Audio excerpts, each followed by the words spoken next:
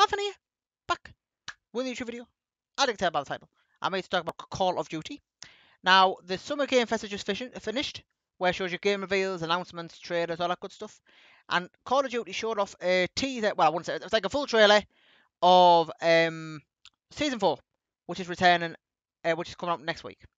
Now, show, uh, there's two new multiplayer maps. There's two new maps. There's one 6v6 map, um, which I forgot it's called actually. I forgot what it's called.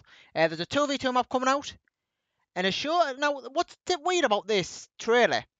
It shows you zombies uh, in the in the middle of the trailer. Then at the end, it shows you some more zombies. So I'm guessing the, the, the zombies in the middle of the trailer was um, Outbreak, and the zombies at the end of the trailer was a new zombie map. I don't know. I'm confused. But the obviously the high point, the, the highlight, should I say, is Hijacked returning. Now, if you don't know Hijacked, Hijacked was a very famous map in Black Ops 2. In fact, it's probably one of my best favourite maps, Hijacked. Basically, what it is, you're on a ship out at sea, uh, and the map's kind of small. I wouldn't say it's the smallest Nuketown. I wouldn't say it's. I would say it's about just a bit bigger than Nuketown, actually. Actually, no. Probably, yeah. I would say it's about Nuketown than half a Nuketown. I would say that. I would say that's probably the size of it. Um, it's a really good map. Basically, like I said, you're on a ship. You're fighting each other on a ship. But I know it sounds boring, but honestly, if you haven't played the map yet, yet you're in for a treat. It really is amazing. The map is good.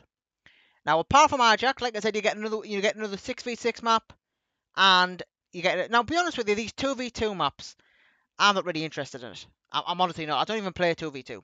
The only thing I'm interested in is six v six and 12 versus 12. That's the only thing I'm interested in. When it comes to 2v2, um, 3 versus 4, I'm not really interested in any of that. The only thing I'm interested in is 6v6 and zombies, of course. So the full raw roadmap is going to get revealed on the 14th of June, which is in four days. So when that comes out, guys, I will definitely go through it. Um, I think other things that when announced in the trailer will be announced on the raw roadmap. Maybe some more maps, maybe the name of the zombie map that's coming out. We'll soon see. So exciting stuff, guys. Season 4's finally been been, you know, revealed, should I say. So yeah, I'm looking forward to it. Um, let's just hope it's it's better than I know we keep on saying the same thing, you know, about seasons. I think Call what Call of Duty need to do is the need to like uh, um what's that word? Bring more content out for when it comes to multiplayer. Because I still think they're focusing on Warzone. I, I understand why they're focusing on Warzone a lot more. Because obviously it's making them the more money and pe more people are playing Warzone than multiplayer. But it's leaving us multiplayer play, us multiplayer fans behind. Do you know what I mean?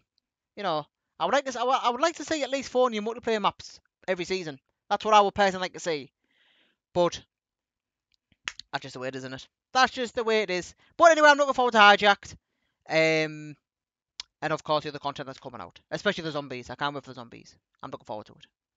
So guys, if you like the video, give it a like. Uh, if you're new to the channel, please subscribe, of course. Hit that notification button. So every time I post a video or go live, of course. Leave a comment below. Are you looking forward to season 4? And if you are, what are you looking forward to?